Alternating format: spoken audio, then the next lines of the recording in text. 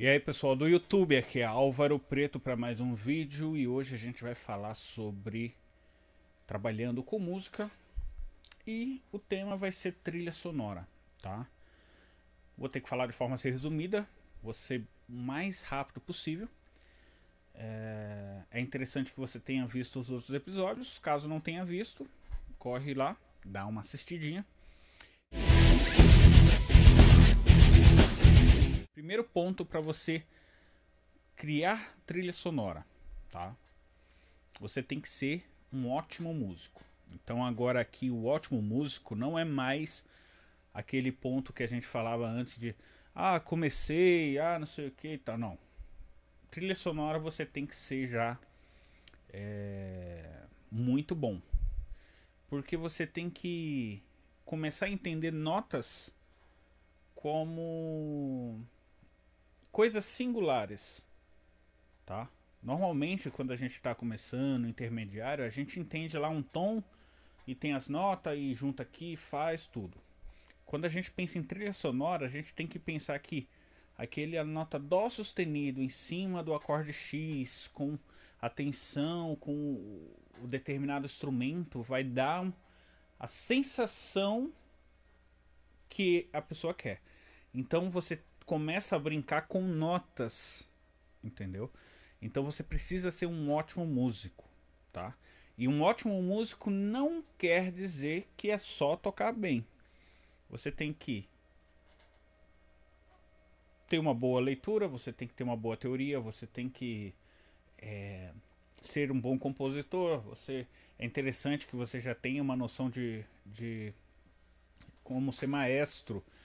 É, porque a, a, trilha sonora ela é muito complexa, entendeu? É, a trilha sonora de um filme, beleza, é, é o final que tá dando tensão porque tem um, um uma coisa, sei lá, complicada vai acontecer. E você tem que saber da cena, ler o, o texto lá, entender que tipo de som Vão ser violinos? Vai ser um piano? Vai ser só um baixo, a bateria? O que, que você vai fazer? Que estrutura? Que arranjo? Que tensão você vai usar? Entendeu? Quais os intervalos você vai usar para que aquilo soe do jeito que você quer? Então é o é um dos pontos mais difíceis, tá? Eu não tô falando assim, ah, eu tenho uma banda, fiz uma música, aí colocou no filme. Isso não é trilha sonora, tá bom? Trilha sonora faz parte da trilha sonora, mas a trilha sonora é pode ser um uma música de introdução em que não tem uma banda que toca. Entendeu? É só um tema, tipo, sei lá, o tema do Halloween, o tema uh, Exterminador do Futuro, Predador, sei lá, não, não me vem muitas coisas na cabeça. Que você escuta o tema, você escuta a trilha e você já pensa naquilo. Quando não tem trilha sonora, tá? Em geral, você escuta e escuta a banda e tipo não, não se remete. Agora quando vamos supor, um jogo tem uma trilha sonora muito boa, sei lá, você pega God of War e você pega aqueles corais, você escuta aquele tipo de, de música, você já logo lembra de God of War. Não tem meio termo, não, você já lembra, entendeu? E, e esse é o ponto mais alto que você vai criar uma música em cima de um enredo, tá? Então, beleza. Ser um ótimo músico. É, ter conhecimento, teoria, melodias. Saber usar intervalos, já falei também. Vamos ver lá. Ser um ótimo intérprete. Isso é muito interessante. Porque às vezes você vai fazer uma. Como que eu posso dizer? Você vai criar uma trilha porém você vai criar a trilha, mas não vai gravar a trilha. Você vai chamar alguém que toque os trechos da trilha, entendeu? Então, os violinistas, o pessoal dos metais, você vai chamar o pessoal para gravar a trilha.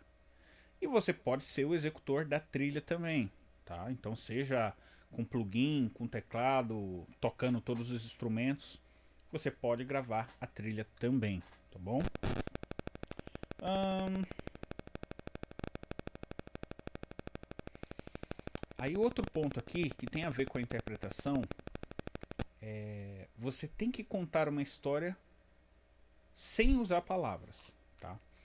É, quem é o meu quem é meu aluno há algum tempo aí, pelo menos um ano, sabe do, do tanto que eu fico repetindo sobre interpretação, interpretação, interpretação, tá? Era uma coisa que ninguém falou para mim, mas faz muita diferença. Que, que é a interpretação? É você passar o sentimento. Então, se a música ela, ela precisa te, te dar uma energia, ela precisa passar ela, uma coisa de superação, você tem que achar as notas, beleza? Você já fez a, tudo, porém você tem que interpretar essa nota para que ela fique bem o suficiente, certo? Chegando nesse ponto, é... você tem que ouvir, vamos supor, você criou o tema. Aí você gravou o tema. Ou chamou as pessoas para gravar o tema. Depois disso, você tem que ouvir e tentar se convencer que aquilo fala realmente sobre a história. Se não não passa isso para você, provavelmente o seu tema não está funcionando muito bem. Aí você pode pegar uma uma sei lá, uma sugestão com, com algum outro amigo que você sabe que conhece de interpretação, só que não fala sobre a história. Você precisa. Ó, oh, escuta isso aqui. Isso aqui você ouvindo, te passa o quê? Ah, isso aqui me passa, sei lá, felicidade. Aí se você queria é, passar angústia, já tá errado. Você já fez algo errado. Entendeu? Então, os, as, os grandes temas, eles têm ótimos arranjos e incríveis intérpretes, tá bom? Se não tem uma interpretação muito boa, mesmo que essa interpretação muito boa seja simples, se não tem uma interpretação, ela não passa o que você quer, tá bom? Vamos lá. Você tem como tem que ter um, uma interface de áudio, alguma coisinha, uma plaquinha para gravar, tá? Para ter a ideia básica, entendeu? De como que funciona, de como que soa. Porque às vezes você fez a partitura, beleza? Você fez a partitura, tá tudo legal. Só que é interessante que você tenha o básico de como gravar, porque você tem que ouvir e tem que se convencer que aquilo é bom. Que aquilo realmente passa o que você quer. Porque às vezes você colocou os arranjos certos e tudo, só que na partitura não está exatamente explicando a interpretação que precisa. Você errou alguma coisa sobre é, como vai ser acentuadas as notas, se vão ser fortes, se vão ser fracas. Então, às vezes você fez o arranjo perfeito, colocou tudo bacana, mas na interpretação, às vezes na escrita, você colocou algo errado, certo? Então é interessante que você tenha algo para gravar para ter uma noção se é aquilo mesmo ou não. Uh, você precisa ser um produtor musical. Então, para produção musical, lembrando, tem episódio falando sobre isso. produtor musical é aquele cara que monta a música, não necessariamente aquele que sabe gravar, tá bom?